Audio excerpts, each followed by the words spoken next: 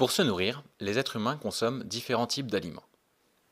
Parmi ces aliments, on trouve des aliments d'origine végétale, comme les fruits, les légumes, et des aliments d'origine animale, comme la viande, le poisson, le beurre, la crème fraîche. Les aliments d'origine végétale sont produits par l'homme au niveau des cultures, et les aliments d'origine animale sont produits au niveau des élevages. Dans cette vidéo, nous allons comparer les effets sur l'environnement de la consommation d'aliments d'origine végétale aux effets de la consommation d'aliments d'origine animale. Dans ce graphique, on compare la surface de sol nécessaire pour produire des aliments d'origine animale et des aliments d'origine végétale. On distingue les aliments d'origine animale, bœuf, cochon, poulet, œufs, et les aliments d'origine végétale, riz, pâtes, pain, légumes et pommes de terre. On remarque que pour produire 1 kg de viande de bœuf, entre 323 m2 et 269 m2 de surface de sol sont nécessaires alors que pour produire 1 kg de pommes de terre, seulement 6 m2 de surface de sol sont nécessaires. De manière générale, on voit que la production d'un kilo d'aliments d'origine animale nécessite toujours beaucoup plus de surface que la production d'un kilo d'aliments d'origine végétale. Dans ce nouveau graphique, on compare les besoins en eau des cultures et des élevages pour produire 1 kg d'aliments d'origine animale ou pour produire 1 kg d'aliments d'origine végétale. On distingue les aliments d'origine animale, viande de bœuf, fromage, viande de porc, poulet et œufs.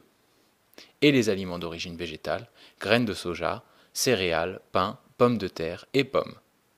On remarque que pour produire 1 kg de viande de bœuf, 15 500 litres d'eau sont nécessaires, alors que pour produire 1 kg de pommes de terre, seulement 900 litres d'eau sont nécessaires. De manière générale, on voit que la production d'un kilo d'aliments d'origine animale nécessite toujours beaucoup plus d'eau que la production d'un kilo d'aliments d'origine végétale. Enfin, dans ce graphique, on compare les émissions de dioxyde de carbone de différentes cultures et élevages pour produire 1 kg d'aliments d'origine animale ou pour produire 1 kg d'aliments d'origine végétale. Le dioxyde de carbone est un gaz à effet de serre participant au réchauffement du climat. On distingue les aliments d'origine animale, lait entier, poulet de batterie, œufs, côte de porc, beurre, fromage à pâte cuite, agneau et steak haché, et les aliments d'origine végétale, pommes de terre, riz, courgettes, pommes, pain et sucre. On remarque que pour produire 1 kg de steak haché, 26 879 g de CO2 sont libérés dans l'atmosphère, alors que pour produire 1 kg de pommes de terre, seulement 117 g de CO2 sont libérés dans l'atmosphère. De manière générale, on voit que la production d'un kilo d'aliments d'origine animale libère toujours plus de CO2 que la production d'un kilo d'aliments d'origine végétale. On a donc vu que la production d'aliments d'origine animale nécessite une plus grande surface de sol, consomme une plus grande quantité d'eau et libère des plus grandes quantités de CO2 que la production d'aliments d'origine végétale. Comment expliquer ces différences Pour les pommes de terre, les 6 mètres carrés de surface de sol correspondent aux 6 mètres carrés nécessaires pour cultiver les pommes de terre et produire 1 kg de pommes de terre. En revanche, pour le bœuf, il ne faut surtout pas s'imaginer que les 323 mètres carrés correspondent à la surface dans laquelle vivent les bœufs. En effet, la surface nécessaire à la vie de l'élevage correspond à une toute petite partie de ces 323 mètres carrés. L'essentiel de ces 323 mètres carrés correspondent en fait à une surface occupée par des cultures. Ces cultures permettent de produire les aliments d'origine végétale, le foin, les céréales par exemple, qui vont servir à nourrir les bœufs et les faire grossir de 1 kg. Il faut d'ailleurs beaucoup plus que 1 kg d'aliments d'origine végétale pour faire grossir un bœuf de 1 kg. Sur toute la matière que consomme le bœuf, une grande partie n'est pas assimilée et est directement rejetée dans les excréments, et une partie permet d'assurer le fonctionnement de l'organisme et ne participe pas à la croissance effective du bœuf. Finalement, seulement une petite partie de la matière consommée par le bœuf est utilisée dans sa croissance et sa prise de poids.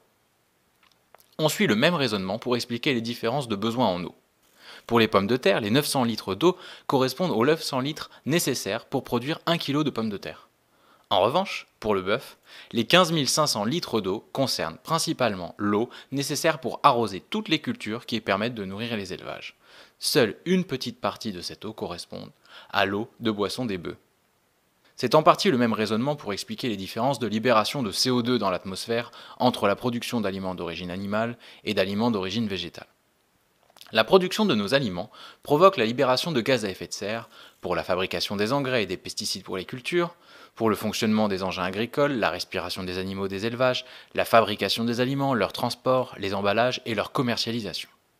En conclusion, la consommation d'aliments d'origine animale n'a pas les mêmes impacts écologiques que la consommation d'aliments d'origine végétale.